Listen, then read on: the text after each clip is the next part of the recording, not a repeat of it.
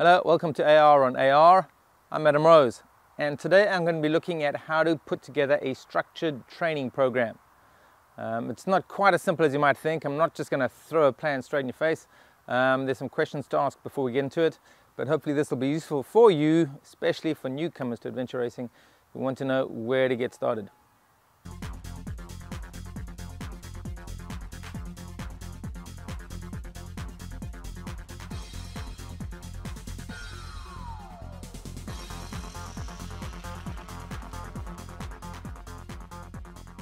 All right, so if somebody comes up to me and says, you know, what should I do for training? Never done one before.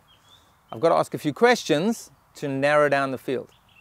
So the first question I'd ask is, how fit is the person? Because it's going to be a big difference recommending training for somebody who's already a triathlete, already does regular training, versus somebody who's a couch potato, they've just heard about adventure racing. Secondly, I'm going to ask, how long is the event? Because training for a six-hour sprint race is surely going to be different for training for an expedition length event. Thirdly, when is the event? If it's just around the corner, that's going to affect the kind of training program compared to something six months down the line or you know a year down the line. And finally, is the person planning on podiuming at the event? They want to you know really race hard, or are they simply planning to cross the line? Because you know, in a nutshell, if you are planning to do your very first sprint event, it's a you know six hour sprint event, you've never done anything, you're coming straight off the couch, I guarantee you, you could do it tomorrow. Why? Because all you have to do is get one check uh, checkpoint, one bike checkpoint, and if there's paddling, one paddling checkpoint. You could do that probably in half an hour's exercise, and you qualify for the event. So, you know, it's a whole different world if you want to go and do something really long.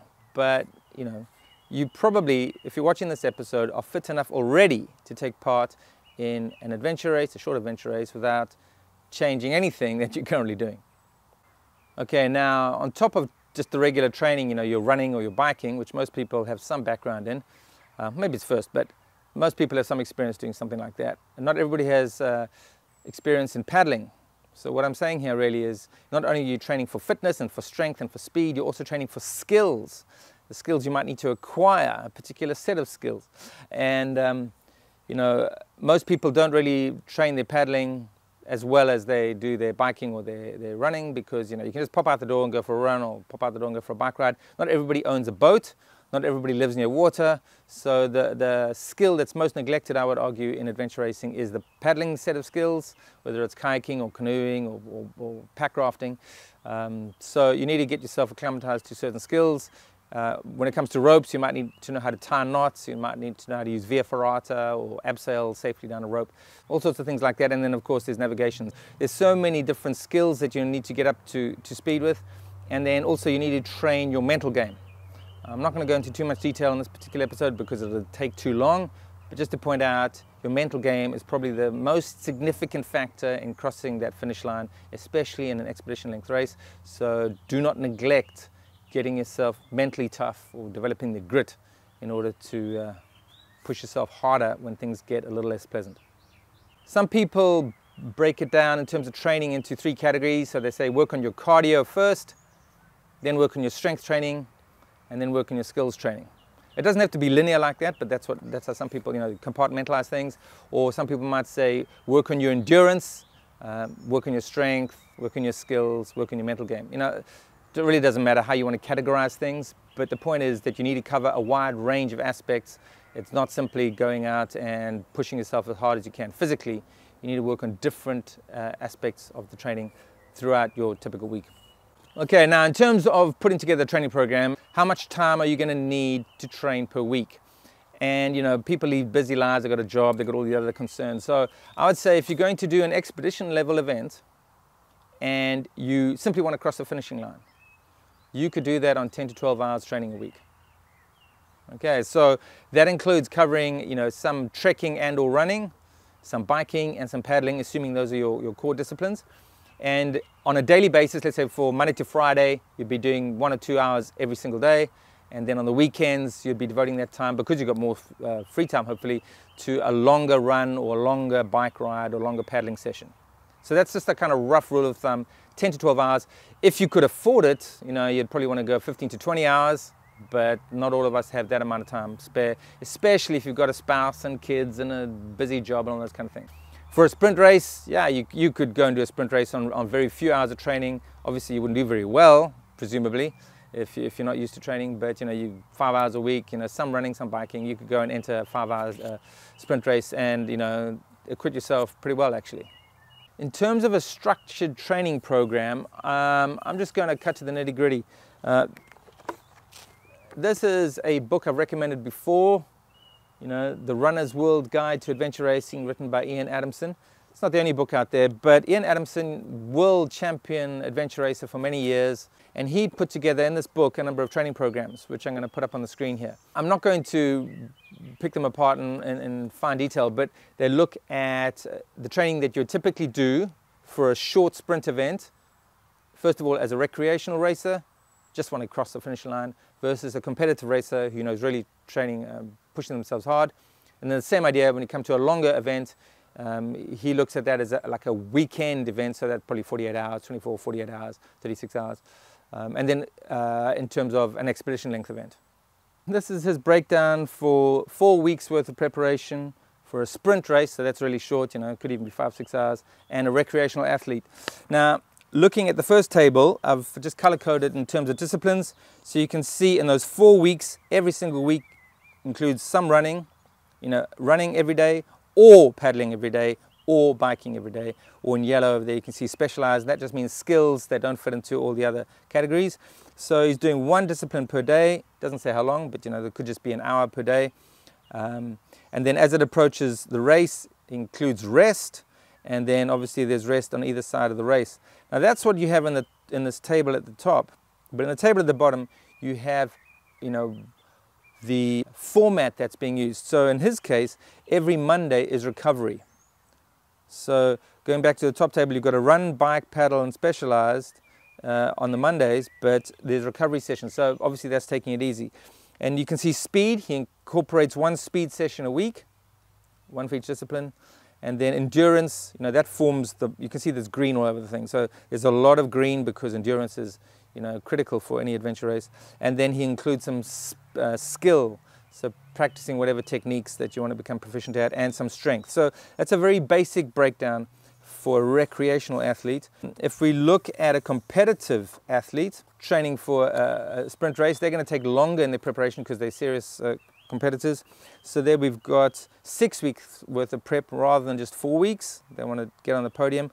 Um, You've got some days with multiple disciplines, so a run and a paddle on one day, or a bike and a run on a single day. So maybe you you do that run before you go to work, and then when you come home in the evening, you do a bike session when you come home. But again, if you build that into your commute, it's not going to be that difficult to achieve. Um, so, you know, it's kind of spread out evenly the amount of biking versus the amount of running, and the, the paddling is kind of evenly distributed. And again, if we look at the table at the bottom, every day on every Monday is his recovery day, and then there's a lot of green. So you've got endurance sessions almost every single uh, of the remaining six days um, and you've got more speed work, you've got more skills being practiced. Um, but you know, it gives you an idea of how you could uh, structure a more serious commitment to racing. And then moving over to this third set, uh, this is looking at two months worth of preparation for a 48 hour race. Okay, so again, uh, during the week, because there's more amount of training, there's longer preparation, um, it's only doing one session per day, so running or biking or paddling. And then on the weekends, you see these brick sessions where you have multiple sessions on the Saturday and on Sunday. You notice there's quite a bit of rest that starts to creep in, you know, usually at least one full rest day per week. And if we look at the intensity, um, so uh, again, every Monday, not only every, is every Monday a recovery day, but here on weeks four and five, he's including some recovery in the middle of those two months. So it's periodization. So, you know, you have an intense period of training and then you slacken off for a week or two and then you get back on uh, more intense training and slacking off just before the event itself.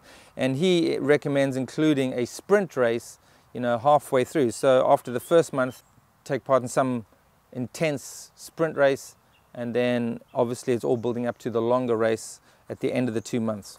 And then finally we get on to, you know, If you're a competitive athlete training for that 48 hour race, you again gonna require even more commitment. So here we're looking at 12 weeks worth of training to do really well podium level. Um, and that's, that's kind of lifestyle adventure race training. It's not that you're purely training for an event. You know, typically a competitive athlete is gonna uh, race multiple times in a year and multiple events. They, you know, they're trying to hit the podium every single one. So what it says here, three months for 48 hour race, that if you're doing four races in a year, it's kind of very, very reasonable for a competitive athlete. You know, it's just non-stop training, year in, year out. Anyway, again, we've got kind of training one discipline a day. Um, Tuesdays, Wednesdays, maybe Thursdays, you've got uh, multiple disciplines, so brick sessions. On the weekends, you could have even four disciplines in a single day. There in week five, you can see uh, run and a bike and a paddle and some sort of specialized skill. And then, you know, every Sunday's got some rest. Um, and at the bottom again, we can see recoveries on Monday. You've got speed session in the beginning part of the week, skill sessions in the latter part of, the, of each week, and endurance everywhere.